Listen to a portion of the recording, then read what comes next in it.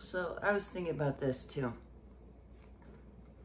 Do these guys understand how they look like punks for trying? I'm I'm 50 years old.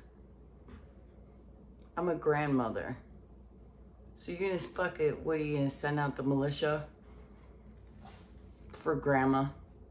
Really? And you're gonna open up your van door and, and say fuck you? I mean, what were you planning on doing when you open that van door?